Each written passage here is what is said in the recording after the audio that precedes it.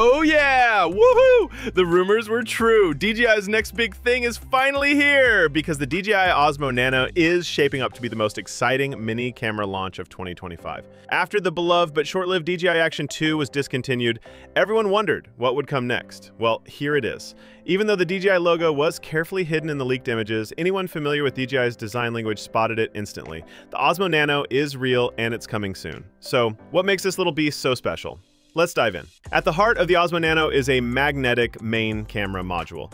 And this isn't your standard clip and go magnet. We're talking magnetic surfaces on almost every side with the ability to switch magnetic polarity. That means filmmakers can mount it in ways we've never seen before on metal surfaces, accessories, or even using DJI's brand new wearable lanyard system. Flexibility is the name of the game here.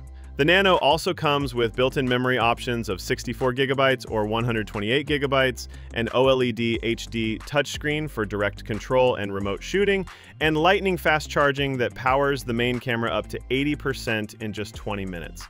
Add in an SD card slot for expandable storage, and it's clear DJI wants this to be a creator's dream tool. Of course, accessories make or break a modular system, and DJI isn't holding back. Expect a clip mount, suction mount, universal GoPro mounts, and that clever magnetic lanyard that lets you wear the camera under your shirt for hands-free POV filming. Whether you're vlogging, traveling, or documenting your adventures, the Osmo Nano is designed to fit seamlessly into any lifestyle. Now let's talk price. The Nano will start at 369 euros for the 64 gigabyte version and 399 for the 128 gigabyte version. Conveniently, these match the pricing of the Insta360 Go 3S, putting DJI in direct competition with its biggest rival in the wearable camera game. And yes, leaked listings have already shown up on multiple web shops, so this one's practically confirmed. Here's the kicker. September 10th, 2025. That's the official launch date, so mark your calendars.